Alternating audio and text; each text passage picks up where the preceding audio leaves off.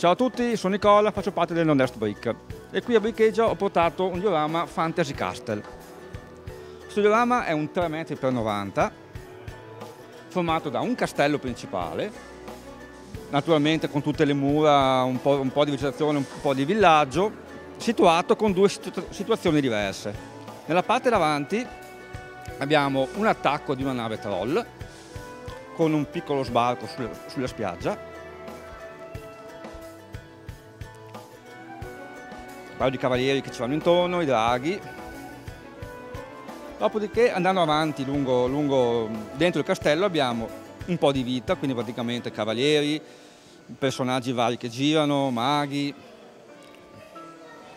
La vita del castello poi prosegue nella parte dietro.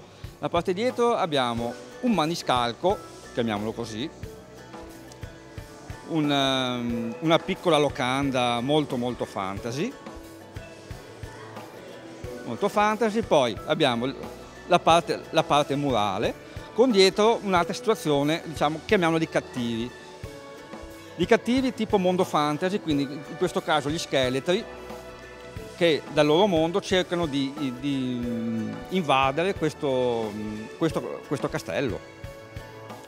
Altre piccole, altre piccole, situazioni le abbiamo appena fuori le mura, un, un piccolo laghetto con um, due innamorati, chiamiamoli così,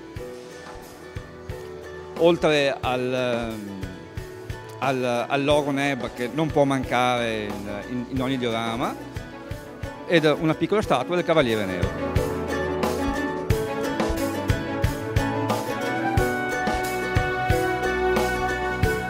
Questo diorama non è in espansione, questo per me è finito e avrà vita fino a fine anno, dopodiché dalle ceneri di questo ne, ne sorgerà un altro.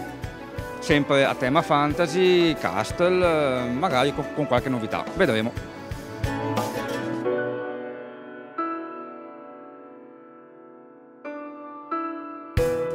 Questo originariamente era un castello del set Lego, Dopodiché è stato modificato aggiungendo un altro set che vedete qui davanti, la giostra medievale, e poi lavorandoci un po' a fantasia, cercando di, senza partire con un progetto ben, ben, ben preciso, ma insomma, il risultato è abbastanza apprezzabile.